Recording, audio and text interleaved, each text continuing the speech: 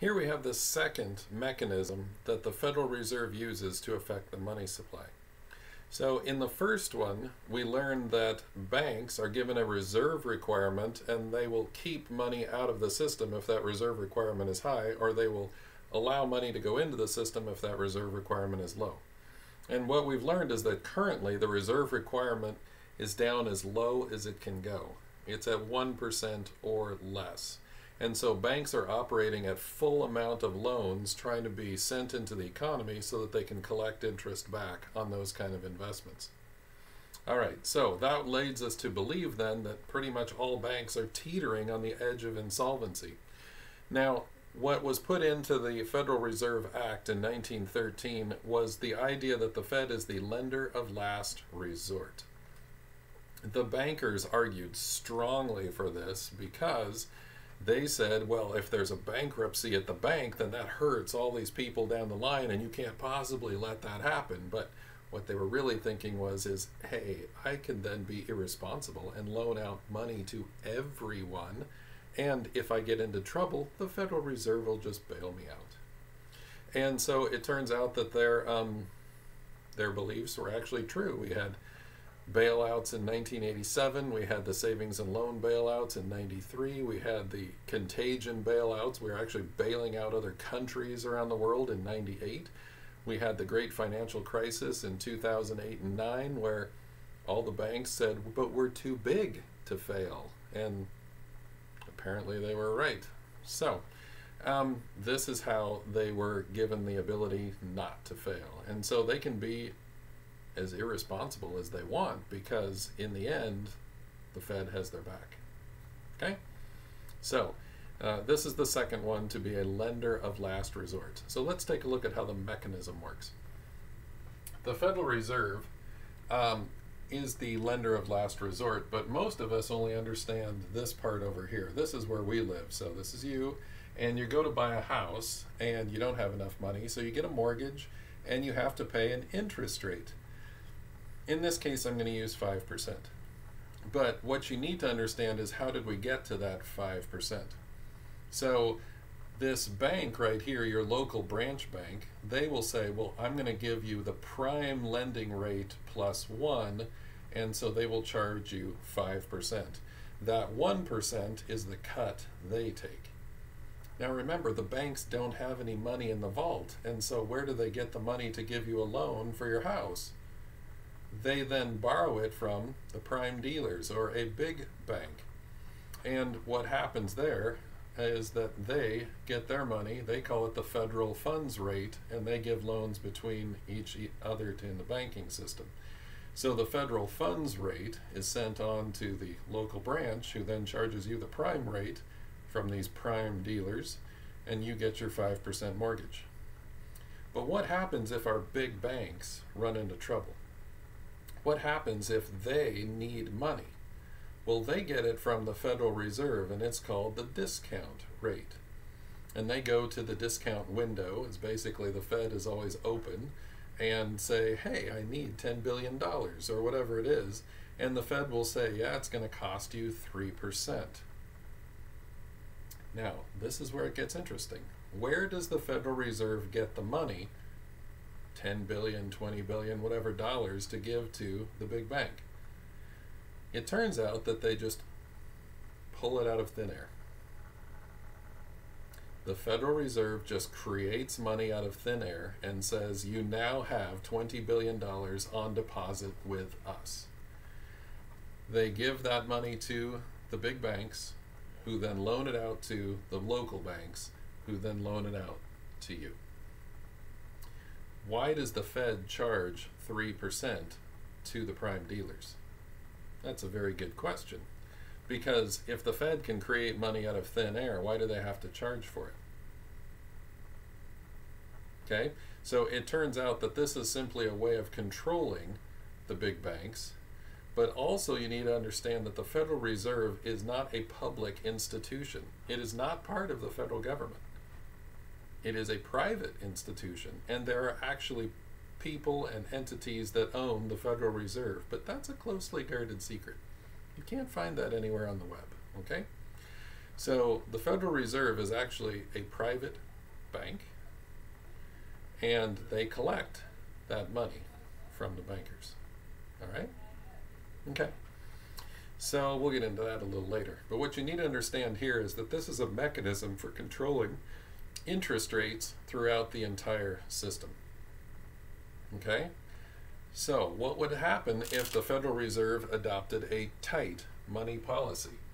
Instead of 3%, what if they put this at 4%? Well, see, if they put it at 4%, then the big banks, they're going to have to charge 5% in order to make a profit. See, if they have to borrow at 4, remember they've loaned everything out. So they come to the Fed and borrow at 4, they have to charge 5 to make a profit. And so on down the line,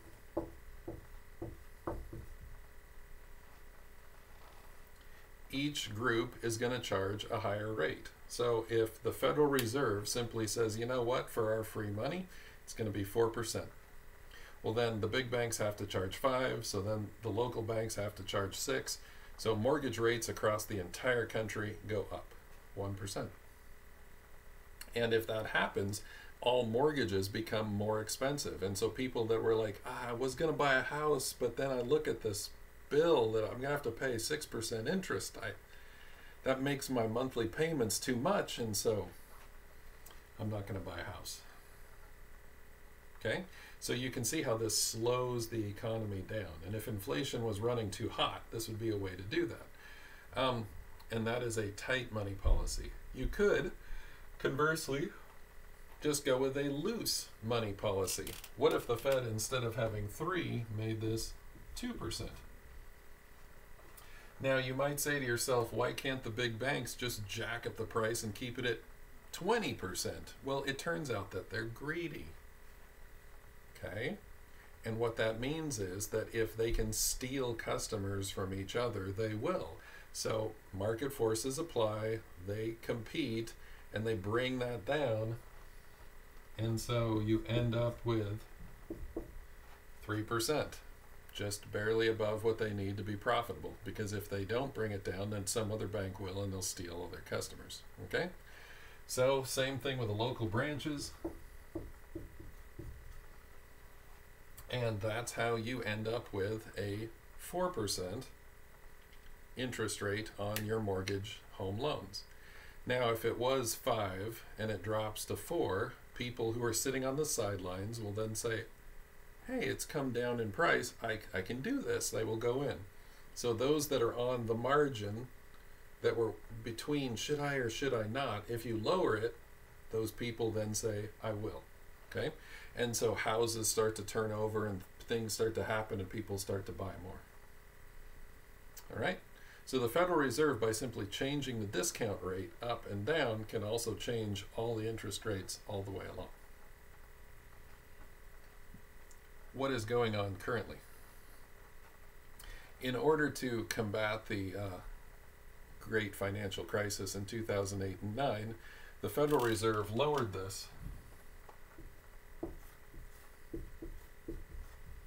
to 0.001%.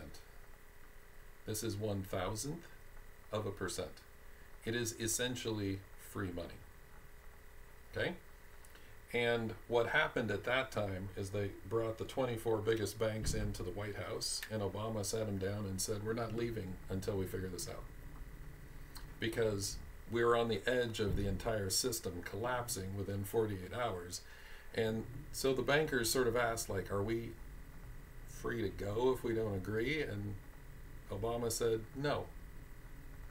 So when things get desperate, the government uses its main tool, the threat of force. And the bankers were essentially told you're all going to sign a deal and you're all going to agree not to compete. And that's how we're going to recapitalize the banks so that you don't have a bankruptcy. So it it was instead of handing the banks free money, which the American people would have, you know, rebelled because the big banks were mostly, not all, but mostly responsible for the great financial crisis in 2008. And there was all these people in the street, Occupy Wall Street, and everyone was like ready to burn buildings and destroy stuff. So they didn't want to just hand them billions of dollars that they created out of thin air. So the way they did this is they lowered it to a ridiculous amount, and the big banks borrowed this essentially free money, but agreed not to compete. And left their interest rates at 3%.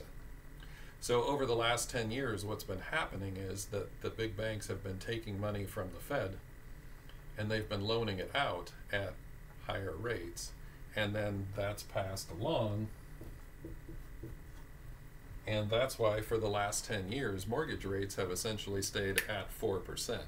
Even though at this number right here, you would think that they would drop to much lower standards than that. Okay?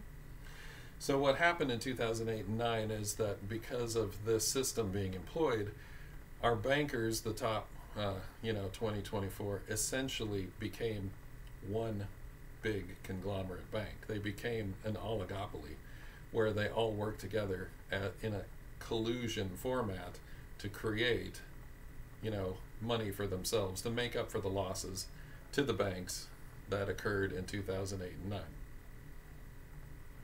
Okay? So, now you know. Uh, currently, where does these uh, rates stand? They're very, very low. Um, what's been happening is that the Federal Reserve tried to raise these rates, and they raised them from ridiculously cheap, a thousandth of 1%, all the way up to a quarter of 1% back in 2018. They said, well, the economy's doing well. So here we go. We're going to raise rates a little bit. All right? And then immediately in 2019, in September, the whole system broke. So in September of 2019, this number over here wasn't 3%. This number went to 10%. And they were passing along 10% here. And what happened is the Federal Reserve panicked and said, oh my gosh, no, no, no, no, no, no, no. Because if interest rates got out of their control and people started charging the real rate, which is more like 10%, then uh, that would be the biggest tight money policy we've had in 40 years. Okay, you'd have to go back to the the 1970s depression before you'd find interest rates that high. So they basically hit the panic button and said they would supply unlimited, you know, liquidity for any type of situation. And JP Morgan, I think, was the bank that took advantage of this and said, okay, we'll borrow as much as we can. Okay? And then they immediately turned around and invested it to make money on it because this was essentially free money and they could put it out into the economy and charge more. So then the Fed was in a real quandary. They had painted themselves in the corner because they had said, We're here for you banks. And the banks said, Okay, then we'll abuse you for every amount of dollar we can get. And the Fed said, But you can't do that. And they said, What do you want us to do? Go bankrupt? What are you going to do? We're too big to fail. Okay? So from September of 2019 until January of 2020, uh, the banks and the Fed were going back and forth, and it was a real tussle. Like, you know, what's going to happen here? Are the, is the Fed actually going to, you know, let the spoiled children fail sometimes?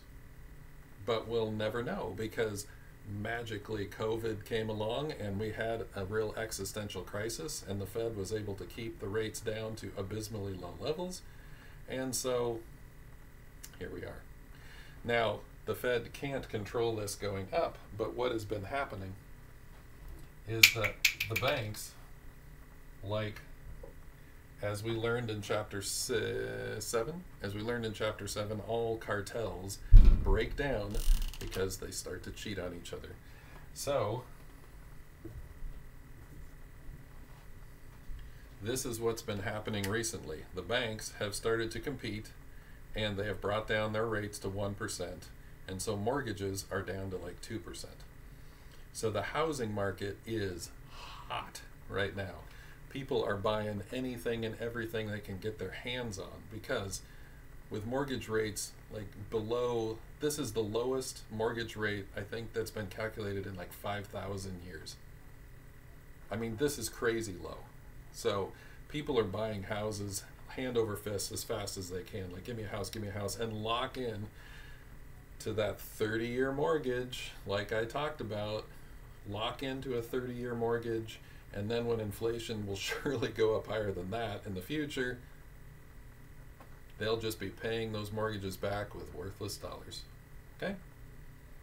So, this is why the housing market is so hot right now. And the Fed doesn't know what to do because the bankers are taking them for everything they can and they can com- they can create money at, out of nothing but now they're being forced to create money at ever increasing amounts to keep the system going. Okay? So we'll see how that all ends